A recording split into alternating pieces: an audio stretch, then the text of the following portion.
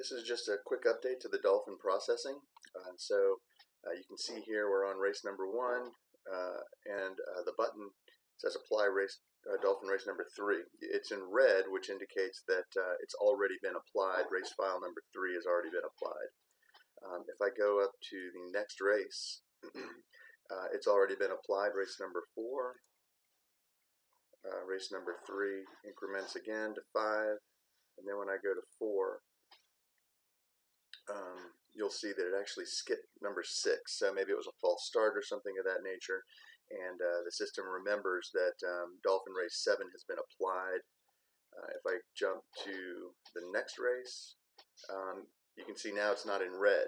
So it's incremented to the next race number, and you can apply it, uh, and it will uh, then save um, Oops, I haven't loaded that file. Sorry, uh, I have, I've only loaded through race seven, but uh, it would apply race eight, and once I hit save, it'll it'll indicate it'll save in the system that uh, race eight was applied to uh, race five, heat event four, heat one.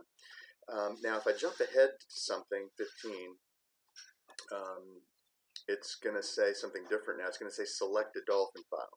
It used to say um, apply race number whatever that it was last on, but that makes no sense, right? And it could be confusing.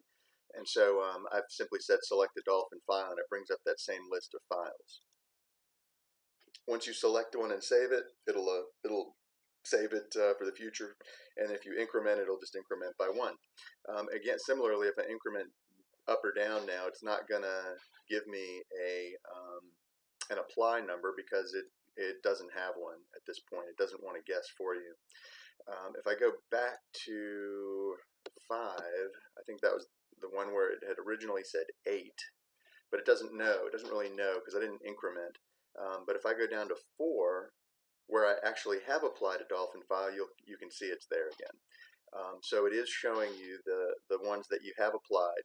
Um, if you increment or decrement, um, it will uh, assume it's the next or previous file. Um, however, if you try and jump around, uh, see it'll continue to increment uh, or or, de or decrement. If I go down one, um, it'll go down to nine.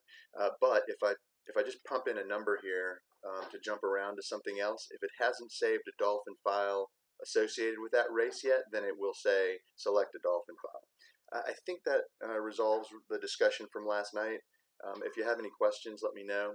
Um, certainly, if, uh, you're welcome to uh, try it out at any time. You can set up a mock meet and give it a shot. Thanks very much.